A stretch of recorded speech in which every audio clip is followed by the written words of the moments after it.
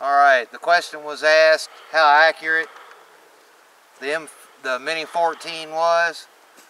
Uh, I'm pretty happy with my new Mini 14, as is everybody else who's come out here to shoot it today.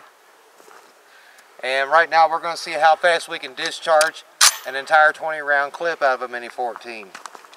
Not necessarily shooting at anything.